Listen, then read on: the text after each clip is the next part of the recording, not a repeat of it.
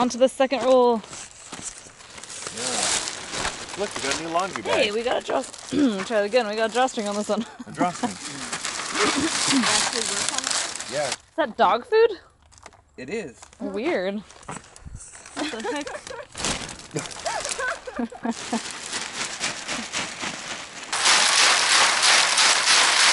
So the inspector called. Turns out it's a different inspector. And he said he'll be coming now! Ready or not, here we come! That's been like par for the course, right? We for he said in an hour to two hours. An hour to two So, hours. hooray.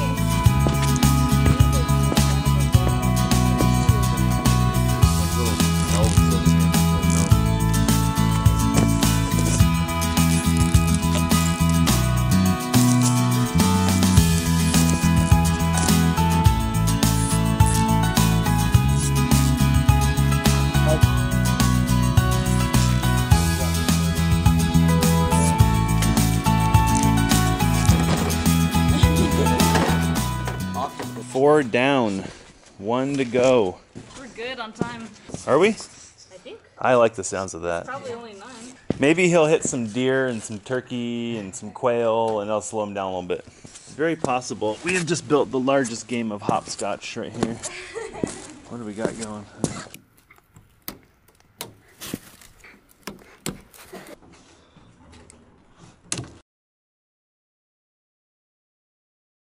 Did you hear that the plumbing inspector complimented us on our plumbing? No. He said, "Who taught you to plumb?" And I kind of didn't really have an answer. I'm like, uh, trial and error. Yeah. So. yeah, Sweet. it's kind of nice.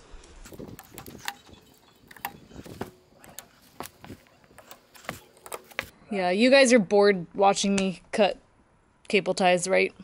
Wow, that's a whole lot different looking rat nest. Turned out really good. Um, we've actually got to put a couple fittings on here um, and turn these valves off, tighten everything up. Uh, and then we can do a pressure test on the system. That'll be the final check to make sure that none of the tubing is damaged or anything.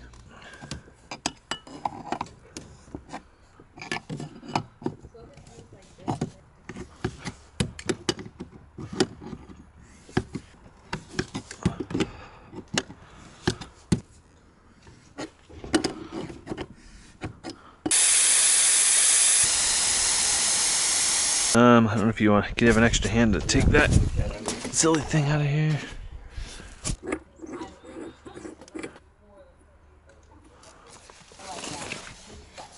Really?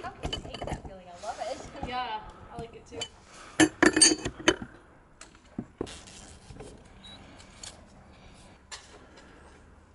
Let's see, so that's open, Ah, closed, open. I think that's closed. Well, we've got a small leak somewhere, so now it's time to start playing Captain Diagnosis.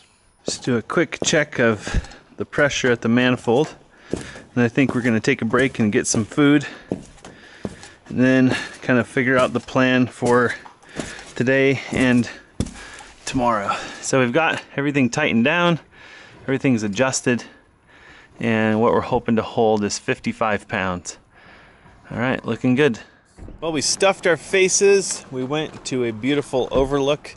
The smoke has blown out of the valley, which is amazing. Um, it's kind of cool that Eric and Terry can see all this stuff they drove this far to check out. And we picked some fresh fruit. Got to enjoy a little bit of that. We're hoping to send them home with a bunch of fruit from the area that's just roadside fruit.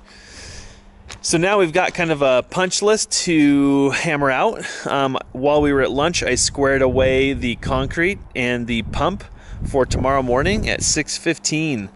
So we've got a lot of work to get done this evening or this afternoon. We're hoping to hammer this stuff out and maybe be done a little bit early and get to do just a tiny bit of sightseeing, kind of rest up a little bit, and then do a first thing in the morning concrete pour tomorrow. Here is proof. physical proof that this homemade ice cream exists. It must be consumed tonight. We have to. There's no way you can leave here and not have your fullest share of homemade ice cream. I agree. Can you tell me what this foam's for exactly? Is it just protecting it from the concrete? If the con, if it's poured solid, mm-hmm. being just as a drain, Yep. it will actually form fit around those fittings. So if the concrete goes down, it will push them down. If it goes up, it'll pull them up. Right. So this, no matter how you know, if you go around it, it, it kind of softens that uh, that lip right there, so the concrete can slide on it. So it, it gives it a little freedom. Can you cut this like long and then just kind of Yeah. stick it under? Yeah. Or does it need to be like a full wrap? Well, just yeah, it, it don't it don't it don't take very much. Okay. I bet you on these smaller pipes that would almost probably do it. Say. Are you supposed to do it the whole length? No, no. Ah, I understand. That's what I was gonna do. just just like that elevation, and sometimes it's easier to cut it down so it, uh, you know, Probably do two pieces too if it's gobbing necessary. up. Yeah, and then something like that.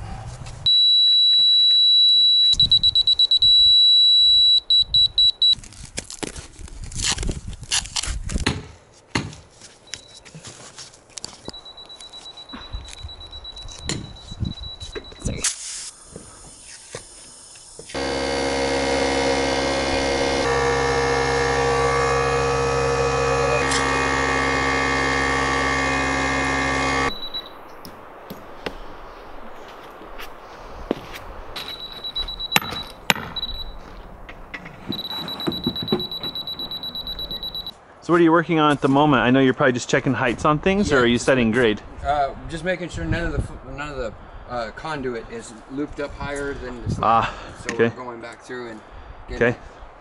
Kind of standing back low and looking for high spots. Nice. Okay. Yep. Okay. Gotcha. Cool. And then you set basically Grade pins. grade pins so you can you can screed to them. Is that the idea? Yep. Yep. I can get as before. I can get this this area Yep. right to elevation. Okay. And then I can go from pin to pin, do it. Got it. I get a screed this way, Yep. long ways, and then I can screed that bay straight down. Got it. Because. I can go from this to our cut foam, Yep. then pin to pin, Pin and to then pin. pin to foam. Got it. And Totally makes sense. way easy. All right, so um, got back from the lunch and I was just kind of checking this, and it looks like we lost maybe about eight pounds in a couple of hours. And so did a little bit of soapy water test on all these connections, which is the most likely place you're going to get a leak, and found three that were kind of lightly bubbly. Actually, this one was pretty the worst offender. And then these two had just very light bubbles. This water is so hot that it practically evaporates as soon as it hits all this metal. The metal's really, really hot too. If this is even remotely accurate, this says 124 degrees. This one says 122. Gives you some idea. Wow.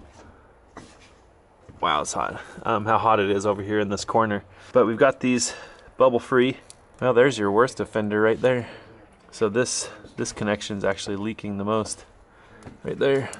That's what happened on our uh, our water main. The most of the leaks were actually in the main itself. Uh, I might try to tighten that down just a little bit. The problem is this this valve or this this gauge will end up rotating against the wall, and then I won't be able to see it.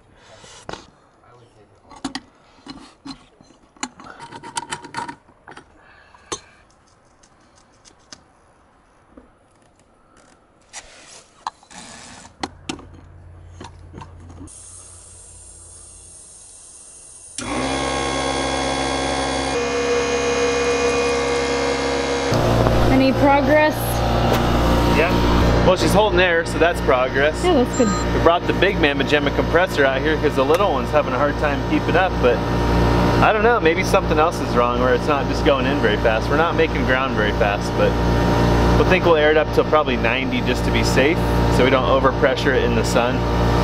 Um, if it'll hold, it was holding 45 for the last 15 minutes, so. We've decided that we're gonna put some sort of apron on our slab here. I, I don't know if we've decided it yet, but I'm getting it ready. Just We're preparing to pour an apron. And I and I think our main reasons for that was so that the gravel isn't coming right up to the garage. Yeah. Um, any other reasons? And helps to keep water out of the garage. Yep. So if it's sloping away, the water's gonna want to go. Away. I away. think it'll look better, but I'm pretty sure we're not really after to look It could be Sloan. internet water. Internet water apparently breaks all rules. It does whatever it wants. It, it jumps up hills. It jumps over drainage. completely ignores foundation drains. Does all kinds of stuff that normal water doesn't do.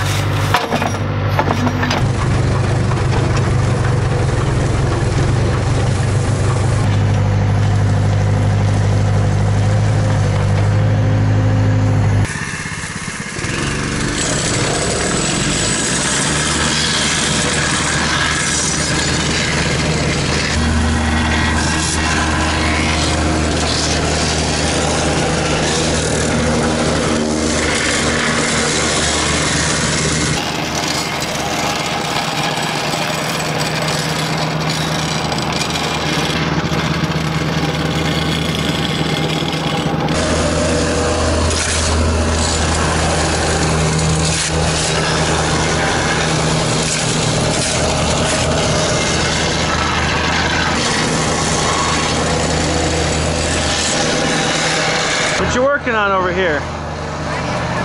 All the pipes. Got it. Oh, to break the concrete bond. Huh? To break the concrete bond? Yep. Got it. Makes sense. Okay. That compacted nicely. I filled yeah. in that low spot there a little bit. Wasn't trying to make more work for you. I just looked kind of low. Lulled off there, so that's Yeah.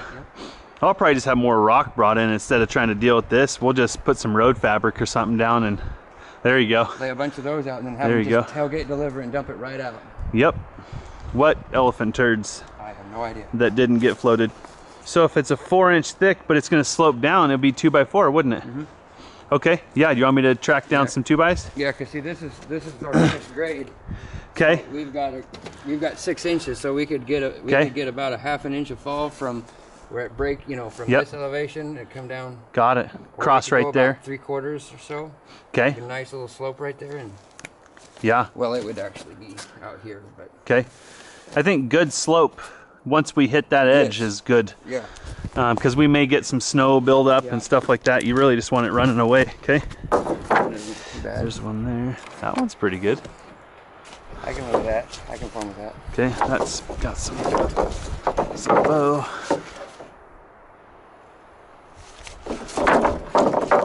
So much bad wood. Can't believe we got the ICFs poured with this stuff. Holy smokes. Look at that one. It's got like an S bend in it. Wow. Hey, that one's pretty good. It's got a little bit of a bend in it, but see what you think of that. I can work with that. That's pretty good. This is a beautiful 12. That's why it's sad to try to use stacks of lumber to find one good board.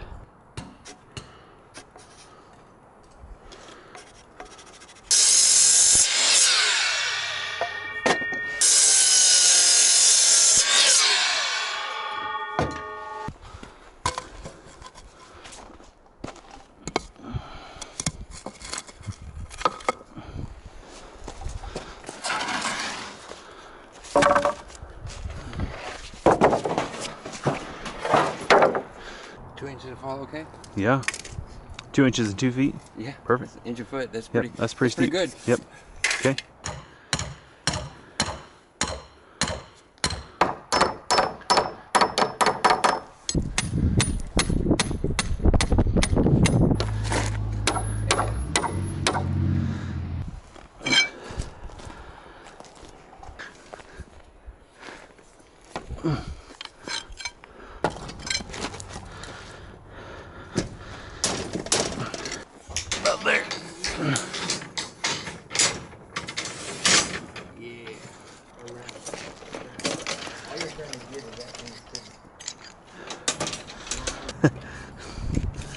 It's not that I don't love you, you're just fired.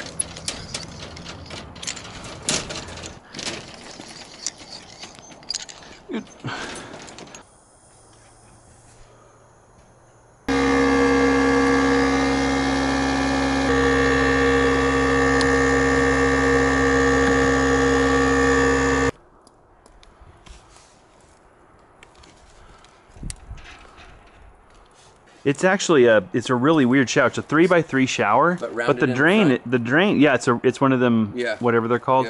But the drain's clear back in the corner. Corner of it. Yeah, weird. That's all. We actually spec the shower and then sent that to the engineer, and he gave us all the the drain centers. So But Yeah. if we boxed it out like yeah, like generous. that much, Yeah. I could even cut some of that steel away if I have to. So Okay. we can do that. Let, let's build a Okay. Okay.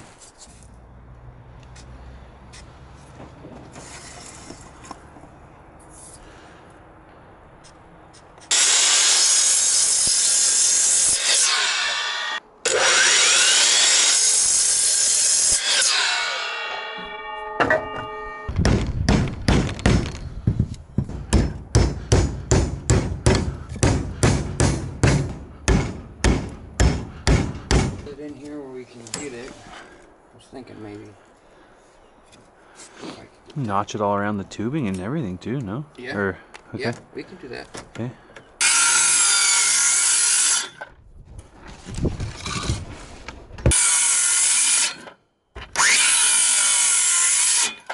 Hey, are we, is that a Bugaboo sandbox? Nice. I bet Bugaboo feels represented. But you're right. He knows how to make a fuss. Don't don't you worry. He knows just how to get whatever he wants. Well, we had another massively productive day. Got so many things done. Got all this stuff masked so that there's no bond between the concrete and the plumbing. Of course, finished the big project, all the radiant.